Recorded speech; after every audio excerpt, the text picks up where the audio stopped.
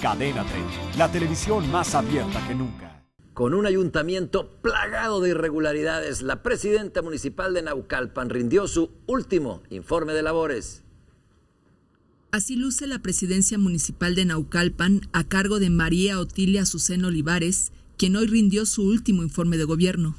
Luce vacía y sin las cartulinas que la acusaban de ladrona y corrupta porque llegó a un acuerdo de pagar esta semana el primer pago de la caja de ahorro, 3.700 pavos de Navidad y el aseguramiento de becas a hijos de trabajadores.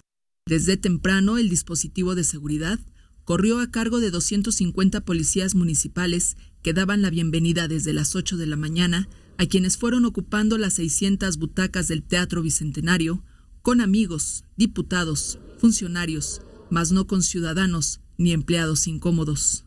Aunque Twitter registraba otro informe, el de las irregularidades, el informe ciudadano, a la par de las cifras que daba Azucena Olivares, aunque hay que decirlo, las irregularidades afuera continúan.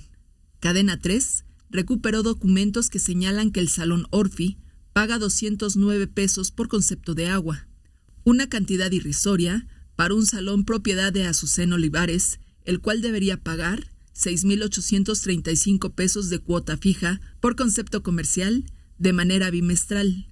Pero eso no fue parte del informe. Hay de informes a informes y sin duda el de María Otilia Azucena Olivares fue un informe a modo. Joali Reséndiz, Cadena 3 Noticias. Entérate de los últimos acontecimientos de México y el mundo en Cadena 3 Noticias. Síguenos en Facebook como Cadena 3 en Twitter como arroba cadena 3-mx y suscríbete a nuestro canal de YouTube Cadena 3 Noticias e infórmate de los videos que a ti te interesan. ¿Quieres ver más? Te recomendamos estos videos.